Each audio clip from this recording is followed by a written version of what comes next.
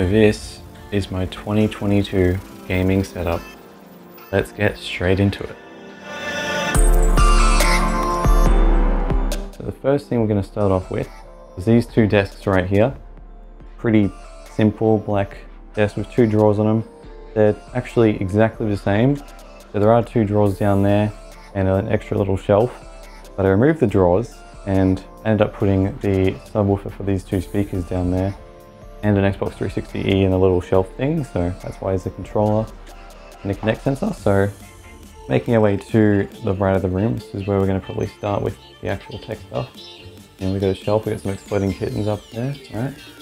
Some little, you know, Minecraft things, amiibos, Star Wars stuff, Pac-Man, all that. And you got the two signs, little light up Star Wars logo and game over thing. Got the Mario Maker 2 sketchbook.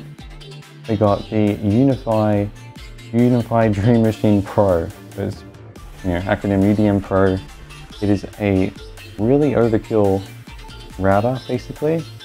It is 10 gigabit capable and yeah, I've got all my stuff wired into it. It goes into a gigabit switch over there, which does PoE and everything for the access points in the house. So we've got eight ports there, eight ports here. I'm using all of them pretty much, so might need to expand that a bit. Down below it is the Synology DS1821 Plus network attached storage device. It has got eight hard drives in it, totaling about 25 terabytes of storage. I'm hoping to expand it. Only four of them are actual real capacity drives. The rest are just random drives from old computers. Nothing too special. They've got some external ones there that don't leave anything on, but you know, why not leave them connected, right? Over here are the two UPSs. You may have seen these before. Displays automatically power off, but yeah, you can see your current power draw and estimated runtime if you want, stuff like that. Yeah, we've got the 1200 AU and the 1600 AU. So, so they're different units, but they're the same casing and design and features. They just have different capacities of runtime and stuff like that.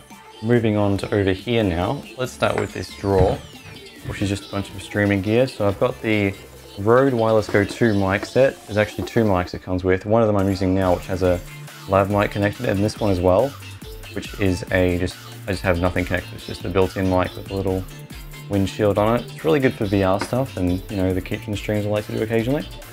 Yeah, I really do recommend them. They're really nice, really simple, and the receiver just connects right here.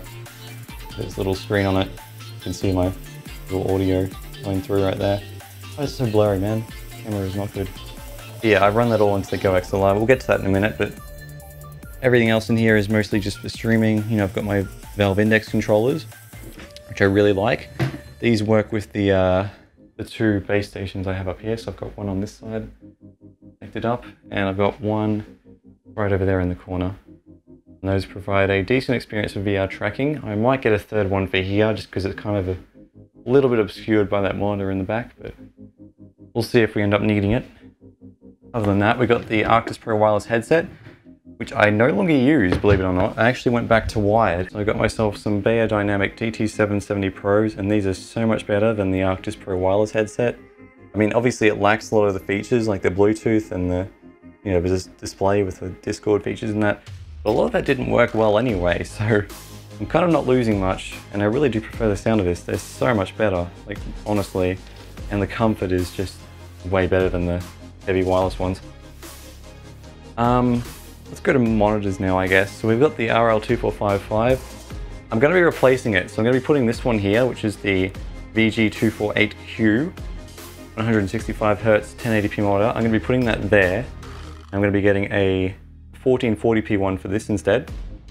Hopefully getting rid of this because it got a bit scratched up during the move and I've really hated this monitor since I got it. Like it's really thick and heavy and it's like weighed down by the yeah, I, I, don't like it. I don't like it at all. It doesn't look very good either.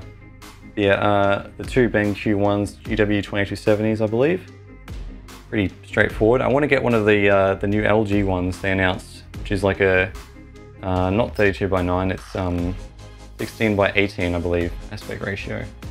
Really, like it really looks awesome. It would be so perfect for this setup because I could have my top PCs there and then bottom one there. Just have the seamless mouse integration it would be really cool.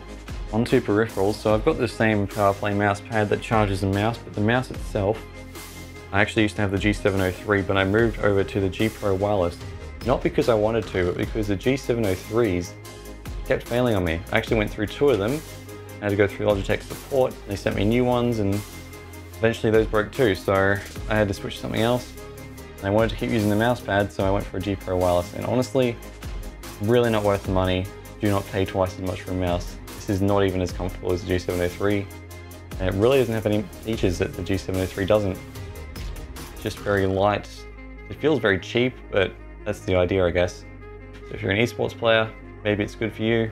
For me, no, not worth it. I'm gonna go for something different next time.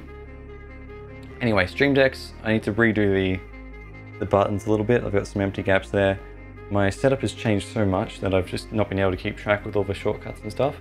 I only really use this bottom row here for stuff at the moment. Occasionally I use like the refocus and all that.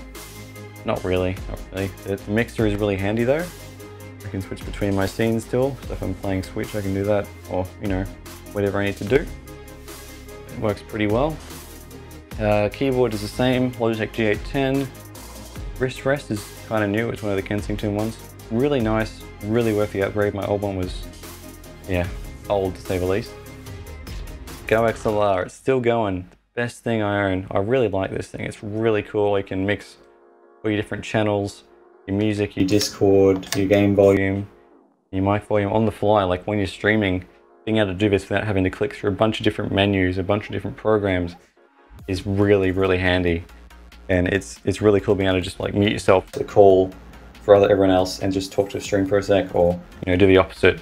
Mute yourself for everywhere or whatever you want to do. You can do lots with this software too.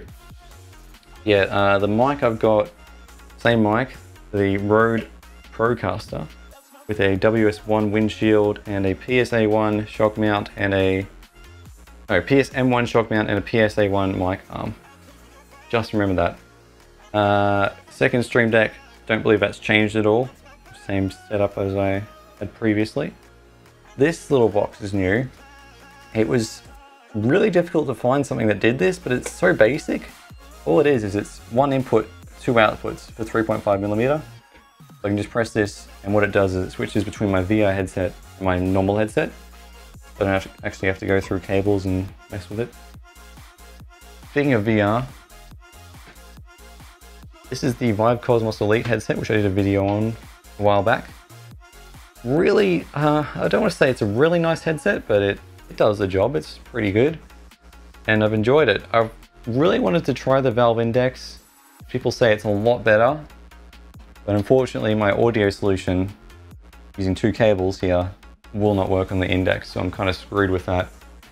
And I think I'm just to have to keep holding on to that for a while until something new comes along. Maybe the Vive Pro would work, but you know, it doesn't look like it's that much better than what I've got now. So there we go. As for the PCs, so they're both over here now. We've had to get extensions and all sorts for the cables to get to displays. Really is a pain in the butt. Like, try extending DisplayPort beyond two meters and see how well you go. Especially with high refresh rate and G-Sync and all that having to work as well. Yeah, you have to spend a lot on cables because a lot of the cheap ones will not do the job. Anyway, I believe the only thing that's changed in this PC is the RAM. I got four sticks, so I'm up to 64 gigs now. Uh, nothing else is really new. Added wireless charging to this one right there. I've got a little dot to indicate where the actual charging pad is because I would have no clue otherwise. It would be so hard to line up. But yeah, um, really cool addition. A new addition to the old streaming PC. So this used to be in a old Corsair case, but when I moved, the feet on it broke.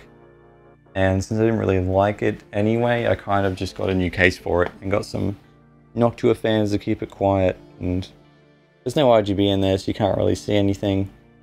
I've just put it in a No 11 dynamic case and all the hard drives have moved into the NAS now, so yeah, it's become quite a quiet system. And all it has to do is run an RTMP server it runs OBS and a bit of Minecraft servers, so there you go.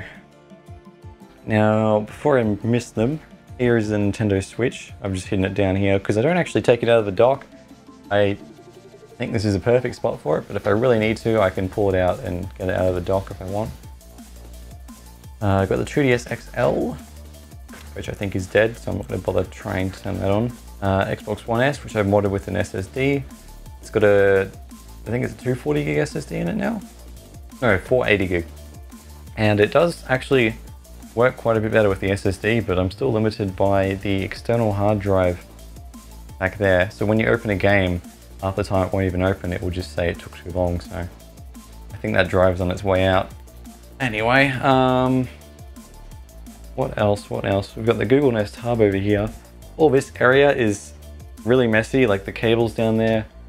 That's where I charge my batteries and stuff. It's quite a mess, mainly because I don't have a bed yet. When I get my bed, I'm going to get some furniture for here, like a little shelf or something, so I can put my headset on it and some of my, you know, charging stuff, just to make it a little bit neater. This barrel is not, not at all big enough for the area. And I'm hoping as well, when I replace this monitor, because I'm going to have this spare one laying around, I may end up just mounting it over here so I can just sit in bed and look this way and I could just watch TV or something on it. Well, not TV, but you know, YouTube or whatever people are into these days. Anyway, um, we got aircon installed recently, about four weeks ago, I think, which has been amazing. It does get pretty warm in here, so it's good to have the option to turn that on if it gets pretty unbearable. Over here is the DDJ-200 Pioneer controller which I use for virtual DJ and I just mess around sometimes when I'm into messing with music. I'm not really a music guy. Like I, I, don't do anything professional. I'm just kind of learning and messing about in my personal time. So I didn't want anything proper. I just wanted to play around with it. So I got something basic like this and it's got Bluetooth so you can connect it to your phone if you want. But no, I just use it on the PC and if I'm bored, you know, mess around with a few songs on here. It's really good. Really fun. Uh, next up is the Xbox shelf. This suits the space very well, but the controller holders are really just terrible. Like they slide and even the slightest tap will knock a controller off. And it's driven me insane trying to get one of these bottom controls off. You have to be so careful because if you knock this, they'll just go flying down there and it's not good. Other than that, it does have uh, some storage inside for your games if you're into that. Nothing too special. I'm sure you can get something custom made on eBay or whatever for a little bit more and get a much better looking thing, but yeah, it works. Um, got the little Wi-Fi thing for the PC. Speakers are the same. Logitech Z623. What else is new? Got the key light, Elgato key light, main one there, just a standard one. On this uh, pole next to it is the it's the Logitech, not Logitech, it's the Elgato Master Mount, I believe is what it's called. And there's a little Kinect sensor, the Xbox One Kinect sensor. And what I use that for is depth sensing for VR. So I can do some uh, Beat Saber VR stuff where I just put myself into the game rather than just capturing the headset. So yeah, it's really handy, but I need to get it kind of higher up if I want to use it. And then if I put it higher up, the angle's a bit weird, so I've got to mess with it a bunch before I use it again. It's really good for um, login though, because you can use it on Windows for facial recognition. So if you just lock the computer. So it supports Windows Hello. So if you're on your login screen like this, you can just stare right at it, right? And it unlocks your PC. Really cool. Let me just show it again. You're on your lock screen, you press a button, it goes looking for you, you look at it, and there we go, unlocked. Really, really cool and it turns itself off. It's also a really cheap camera. I got it for like 30 bucks and I think 15 for the adapter for Windows. That's a killer deal. I mean, it was pre-owned, but still, killer deal. And there's a lot you can do with it. Like you can do so much tracking things and all that if you want. Yeah, really cool. Um, last thing I think we've got is the Keylight Air, which is just the smaller version. I use that for when I'm working with computers or whatever. Taking something apart, good to have a portable light move around with you. Uh, the Secretlab chair that I did an unboxing and setup of, I actually got the backrest replaced because it kind of ripped around here somewhere. You might be able to see it on one of my older streams. It was all ripped open on the side and it, it wasn't bad or anything. It was perfectly usable, but it was just kind of an aesthetic thing I wanted fixed. So I reached out to Secretlab and they sent me a new one free of charge. They sent me a box to dispose of the old one with and they took that. Yeah, I think it was about two weeks I waited and it was all good. Didn't end up having to send my whole chair back or anything. It was just the backrest was sent to me and yeah, went pretty well. Um, I don't think there's anything else, to be honest. That's about it. Anyway, I hope you all have a good 2022. Hopefully a little bit better than 2021 and I shall see you next in a video other than this one or something. I don't know, guys. Have a good one. Goodbye.